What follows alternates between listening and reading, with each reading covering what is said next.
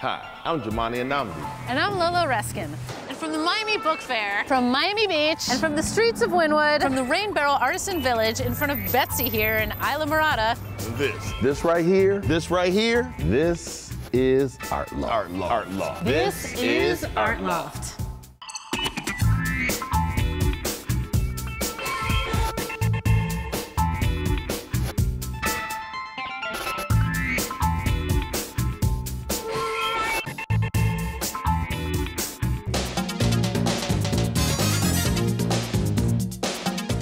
Florida has always been, since the beginning of the 20th century, a place that people came to to escape to paradise.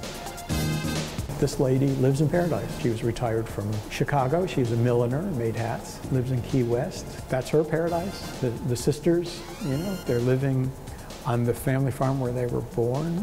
For them, it's paradise. Why is it peculiar? Florida's also had a history of peculiar tourist attractions, especially post-war. The one I love was Gatorland in St. Augustine. I've got a picture in there of which I didn't set up. I was photographing a hotel in St. Petersburg, and I turn around, and there's a guy walking down the sidewalk in an alligator costume carrying a music box. Does that happen in Idaho? Uh, no, it doesn't. It's, it's peculiar.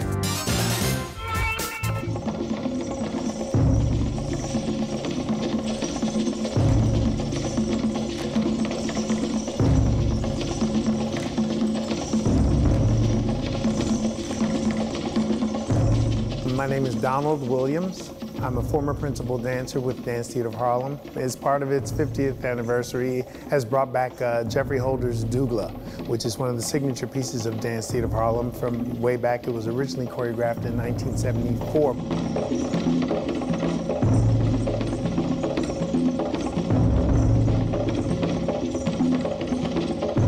as a signature piece. But then in the 90s, he did a revamp and he used me as the uh, central character, the principal dancer, to update it and make it more relevant for the future. And now it's, it's a timeless piece. You see what I'm saying? Like that much, that much stuff. Yeah. So that's where you can go. In this particular dance, a lot of the movements are very simple. There, they'll just be arms, heads, and then the most important part of this would be the eyes when you turn your head to the front. And yeah, and, and, and the, the expression that you give, what you're saying with your face as you make the movement, what you could bring to the steps.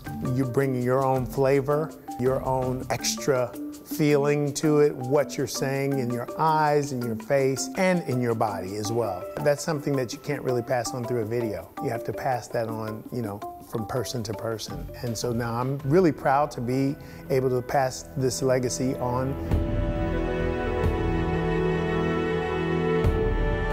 Because the company's smaller now, we have to uh, have uh, supplements and we use local dancers from the different places that we go to perform the, uh, this particular ballet. Here we're going to be uh, using Peter London Ballet Company.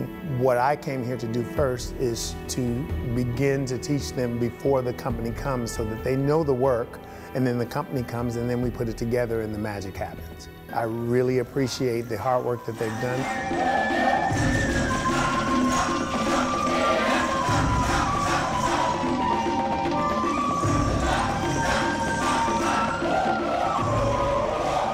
I spent a long career at Dance Theater of Harlem. I was a principal dancer there for 27 years. What Dance Theater of Harlem was about was trying to give opportunities to dancers of color to uh, perform in classical ballet.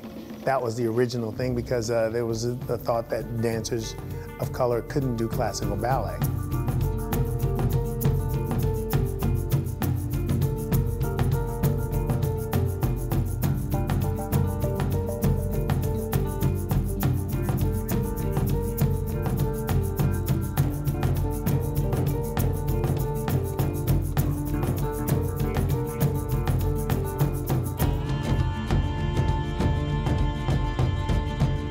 Before, we were trying to prove that dancers of color could do classical ballet.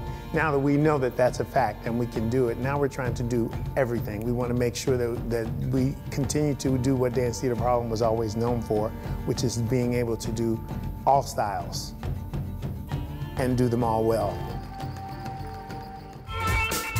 A local Miami couple is giving artists a unique space to both live and work. It's called Fountainhead Residency, which allows them to showcase their pieces to the public in an intimate gallery kind of setting, really eliminating the formal barriers museums sometimes have. I take you on a tour to check it all out. We started the Fountainhead Residency over a decade ago, which I, I still can't believe that we're, um, we're on our 11th year, but we started it in 2008. And we really started it because when we started collecting, we quickly realized that we were so much more drawn to a work of art once we had the opportunity to get to know the artist. Fountainhead has three artists that are flown in from all over the world, and they spend between one and two months here. So they live there, they work there, and we connect them to people in the Miami art world. Now, and you and you have a big event here. So every time you bring a group of artists, you bring all your friends, collectors that come here. For some of them, it's their first really experience with a lot of people being able to see their work, right? A lot of why we do that is because not everybody's comfortable going into galleries and going into museums, and and kind of a, another part of what we're trying to do is bring more people into the art world in a way that is non-intimidating. Right. So when you come to a house to see an artist's work, you automatically feel comfortable. You know, everybody, you think of a home, you think of family, you Right. think of, you know, being open, you think of conversation. We like to give the artists more information than they had when they came about the business of art. So allowing collectors and museum people to come in and talk to them without that filtration of a gallery puts them on the spot a little bit. And so they have to explain their work, defend their work, and potentially sell their work. Come back for uh, for the open house. Yes, we want to come back for the open house, Wow. and I want to see that, and I want the, the, our viewers to get a chance to see the partay.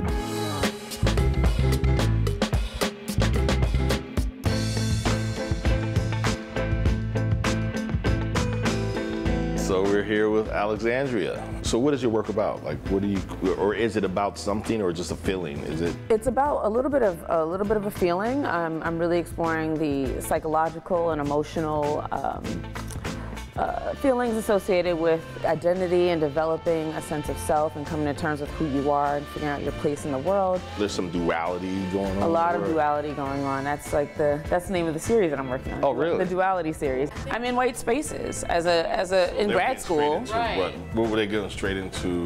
They were just obsessed with me and the autobiographic, the auto, my autobiography, and not the work. And I said, just because they're brown figures in the work doesn't negate the universality of the concepts I'm exploring, nor does it mean that it's about me. It, could this be the duality of things as well? Like Yes, dealing with that issue and dealing with where you were coming from and how these different worlds connecting? It is. It's both about conceptual duality and dualism, and also a physical dualism. It's about masculinity, femininity, like we were talking briefly about before, gender skewing and blurring those uh, gender boundaries and, and boundaries around sexuality, but also looking at how the figures are in relation to one another, how they're interacting and engaging with each other, and also the spaces that they're inhabiting.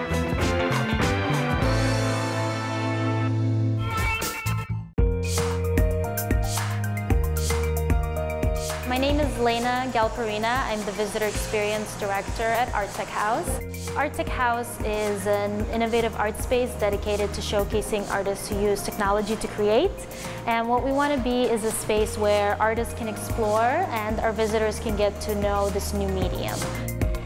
What the artists of the 21st century are doing is they're using the tools at their disposal. So um, Adrian and Claire are the artists that at this time we're sharing with our audience. In this case, you know, the artists are using projections as a source of light as well as you know, actual physical frames and the hardware like computers. They're using 3D cameras to be able to see where a person is and capture their movement, and they're using their own software that they're created.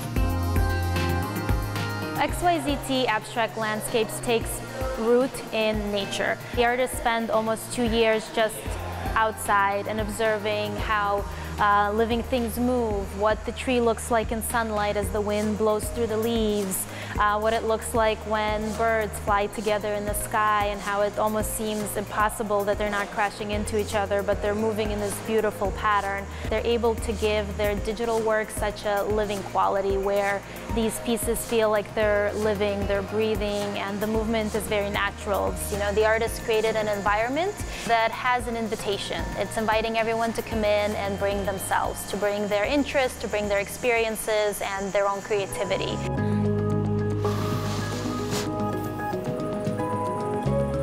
Sometimes you almost feel like you're experiencing senses that you're not experiencing. So because it's so organic and it makes you feel like you're almost like in a living environment like a forest or some people say they feel like they're submerged underwater. Through your memory it might make you remember smells of that environment or it, you know, even if you're not touching something it might feel like it's like a delicate thing and it um, gives you that sensation and I think it's uh, the combination of visual and auditory um, stimuli really can create an experience that's very immersive. We're here at the ICA in Miami's Design District, and I'm here with Stephanie Seidel, who's the curator of Judy Chicago, A Reckoning. Her spray painted paintings that we see here from the 70s, these really iconic paintings, are kind of stri striving to find an imagery that is not phallic, that is not male dominated, but more universal. And they rotate around a central core, which is more of a female iconography for her. One of the compliments to this exhibit was a public performance. So here is a Purple Poem for Miami by Judy Chicago.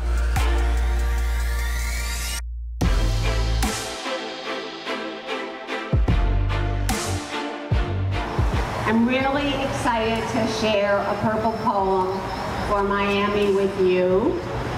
We've been working on it for a year. We're giving Miami, we hope, a gift that you will enjoy.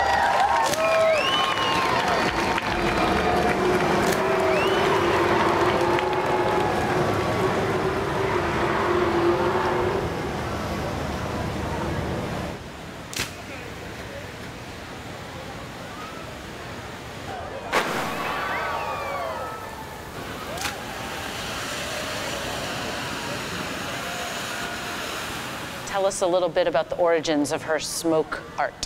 Yeah, they really started in the late 60s, early 70s when she was still working in Pasadena and Los Angeles. And she would just grab a couple of friends and drive out to the desert or the national park and set off these like beautiful colored smoke bombs and have these female bodies merge with the smoke and it's beautiful images. And back then obviously it was much easier. You didn't need much permits. And but it was also her response to the upcoming land art at that time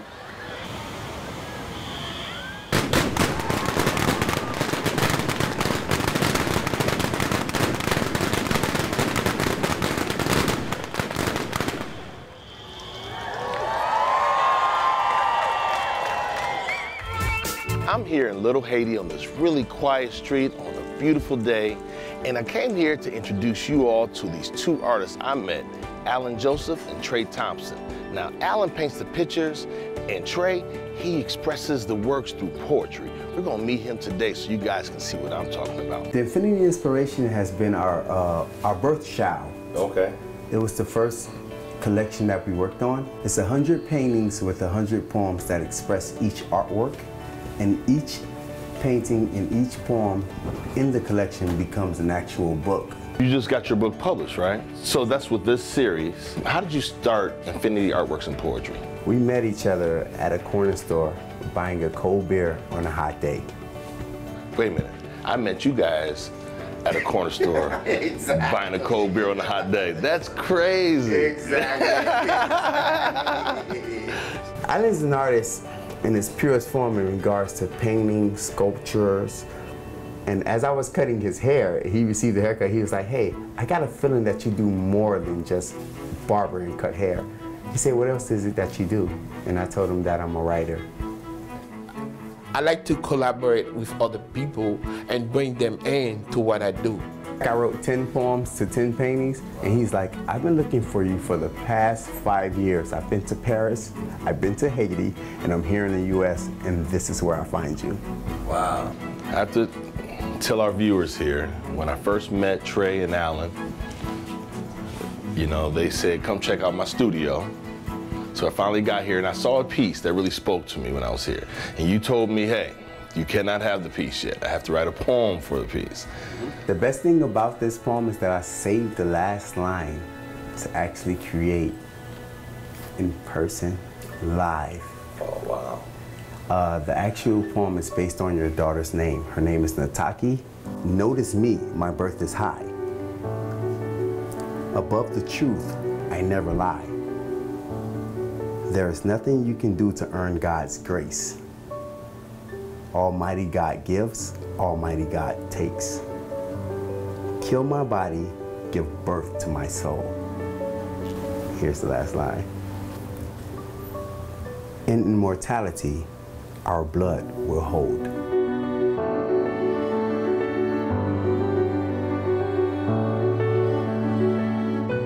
I think you don't understand why that's so dope. I had a sister. Nataki passed away at 18 months. So we named after her. And that poem is dope. Her blood holds song. And yeah, yeah, yeah. Wow. Wow. Thank you. You're more than welcome, brother. Was not expecting this. All right. You got it. In a sleepy North Miami warehouse district, right behind me lies musical history, a lot of it. Originally, this place was opened by a musician named Mack Emerman. He was a jazz musician, and I read that he liked to go around and tape live shows and record people, and he kept his gear in his car. Were, were most of the early recordings here on the jazz style, or, or was, it, was there more variety going on? Too? Absolutely. He was a uh, jazz trumpet player, and uh, he did had a recording space kind of in his living room, and his family got pissed off and finally got him to leave and have a freestanding building. And so he came here, and yeah, a lot of it was jazz, a lot of it was his friends, uh, you know, and it was he would basically record anything he could get his hands on. So he was passionate about the music and, and the people making the music. Today, you still have so many artists coming through, and to me, um, incredible that you're available for these high-level artists such as Ricky Martin, Nicki Minaj, people like that. But you're also a studio that local people can rent out and use. Miami's Nu Deco Ensemble just made a record here, right? Yeah, we, we've always done, you know, the struggling jazz musician scraping together a couple of dollars to do recordings, to the James Brown session, to, you know, uh, Ahmad Jamal, to Duke Ellington Orchestra, to, you know, we used to score the Jackie Gleason show in this room, you know, so uh, it, it's always been a wide range of stuff. I mean, we did, you know, uh, Marilyn Manson's first record. You know, we did uh, uh, the Mavericks' first record. You know, it's people that are local bands that you know blew up. We do every conceivable type of music. One of the things I love about Criteria is that all over the walls you can see all these incredible plaques uh, celebrating some of the gold, platinum, and multi-million selling songs that were made right in this building.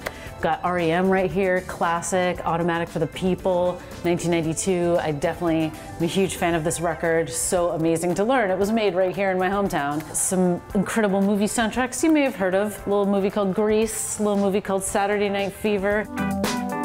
Criteria in general is very closely associated with the Bee Gees. I, they had the one of the studios booked out for years or something like that. I read. All, all the studios. I mean, they're part of the reason we have so many rooms. You know, it was it, the Gibbs would come in and they'd be working on a project, and you know we couldn't fit anybody else in, so we built another room. Fortunately, they chose Miami to make their home, uh, and we did. You know, I don't even know how many five, six, seven albums with them. My name is Craig Gray, and I'm a sculptor here in Stock Island, Florida. For about 15 years, I carved gravestones, I did granite countertops, and then I also carved other artists' sculptures. And so that's how I kind of backed into the arts. Then I got inspiration and I decided to pursue my own work. I had a residency um, at the studios of Key West, a great organization, six years ago. And then six months later, my family and I moved to Florida. The highway into creating public art, which I, I, specifically moved to Florida, is there is close to 100 public art programs, all shapes and sizes, all different types of communities. And the great thing about Florida and a few other states is they lease art. I've put large-scale pieces for anywhere from a year to two years in about 25 communities in the state of Florida alone. And that kind of started me on that path. And then you get the piece back. So then again, you can lease it out again. And from Florida, that kind of acted as a springboard. So then I went to Chicago, I went to Jackson, Wyoming, all these places. Right now I have 22 large-scale pieces of art around the United States. It's a great program where a lot of communities are, are a bit uncomfortable. You know, they, they want to feel out the waters, basically, and say, is this going to be something that people are going to like? And a lot of the public art calls that I do, they're looking for a temporary installation of sometimes a year to two years, and then I can come back and do touch-up work if somebody tagged it or something like that. A lot of cities are, are bringing in pieces. They'll display them for a limited amount of time. They may move them around within the city, and then they come off display. They're trying to keep it fresh. What happens when you mix a classic 50s motel, a pending renovation, and an immersive theater company?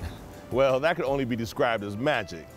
Check out Miami Motel Stories. When you make promises, directly or indirectly, promises that are lies. I saw you five minutes after walking into the club. I couldn't keep my eyes off of you. I stopped being a cop, no longer worked for the club the minute I saw you. You know, the mid 60s is when sort of like we're reaching the peak of the heyday of the boulevard and um, a very prosperous time that then moved into, you know, a sort of downward spiral time in the end of the 1960s and leading into the 70s where there were became a lot of moments of um, prostitution and uh, drug trafficking and things that were sort of about to erupt on the boulevard. We also wanted to capture the storytelling of the building across the street that's now an auto shop that used to be the Playboy Club. And so many people have so many stories about that club over the decades and their interactions with that space. Stella, I like you. How could you do this to me? Stella. Matt, is that even your real name? Did you lie about that too? That's my name. So you were there at the club to, to do what? To set me up? My character is a cop, and he's on a uh, kind of a stakeout. He's trying to see if the girls are being good. So I'm trying to figure out if they would, if I flirt with them a little bit, if they'll go home with me. If they say yes, they're getting fired. do you like being used? Because it seems to me you don't understand what it is you're doing to us. To me, you're using us, toying with us. My understanding is that the girls know the rules. My character then takes this Playboy bunny to his hotel room because he has legitimately fallen in love with her. How does one flirt without flirting? We're not robots. I'm not a trained dog. She's really going through it. She like really thought this was real. She's had a hard life and all of a sudden this is just one more of those things that could break her both personally and career-wise because she doesn't know if she's going to lose her job now. She doesn't know if she's walking away from her potential husband.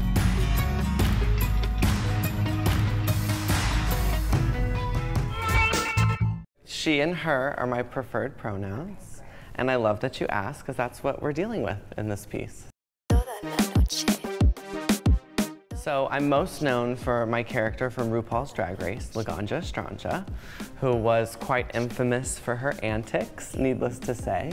But because of that infamy, I was really able to build a brand and travel the world, create an international, you know, high heels masterclass, and really expand from what people saw on TV. So being given the opportunity here at YoungArts to not only expand on that, but to really break the mold and not really involve drag in a typical way has been very freeing for me. Um, not that I don't love drag or that drag hasn't been you know, crucial to who I am as an artist, but sometimes it feels very limiting because I'm portraying a character that I was on TV four to five years ago. So even though I've grown as a person, the character is kind of like a stamp in time.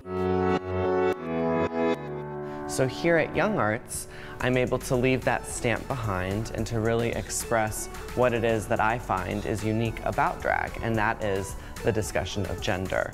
And, you know, the many different ways that people express gender.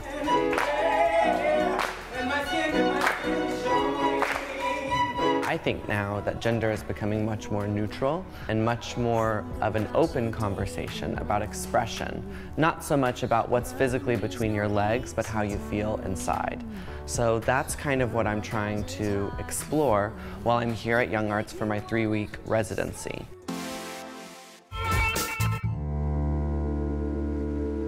We're here to, to celebrate what I think in many ways is really the symbolic beginning of contemporary art in Miami. You know, we talk a lot about Art Basel at this point in time, and we talk about the fairs, but in many ways I believe that this is the heart of where it begins.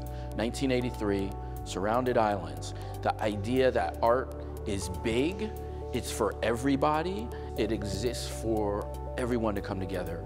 And even in the process, the making of it physically at that time included a whole lot of Miamians. We decided surround this island with floating pink fabric, but in the beginning, the very early sketches, that pink fabric is very light, barely pink because I was very uneasy with that fabric, you know, this is the very early drawings and uh, basically some idea. Yeah. May, may I ask you, Yeah. why pink? That is another important part. You know, when we arrived here, actually, uh, we arrived with Jeanne-Claude before in, in, Miami in the late uh, 70s to lecture, and we discovered for the first time so flat land. There are no mountains, they're flat, a lot of water. Of course, the earth, vegetation, island was all flat land. And of course, one very interesting thing, the air is full of water. Very thick air, full of water. And everything looked pastel, very washed by the thickness of the At the same time, we discovered the incredible amount of other people living here, the Latin people that not live in any place in the United States so much like here. And more and more, we understand that project should be related to that Latin culture within the heart of Miami. Hmm. This is that shocking pink gum. I remember uh, my father coming home one day all excited. Kids, you have to see this, get in the car, and driving us out to one of the causeways. And we got a nice, nice view of it. And I just remember uh, the sense of excitement that uh, my sister and I and my father had in looking at this strange thing that seemed to have been uh, dropped down by aliens, but that was just beautiful, it was just glorious. So did you all look at it like art? Was your family into art, or was this just something that everyone just really was excited not, about? Not, not really. Not, uh, we didn't. I don't think we connected to it as artwork necessarily, and I think that's one of the the most beautiful things about Christo and Jeanne-Claude's work. It, in a way, transcends labels. I mean, it's clearly art, but it blows past uh, what many people associate with art. You know, it goes way beyond uh, painting, sculpture, um, installation, uh, and, and treads into new territory. Art Loft is brought to you by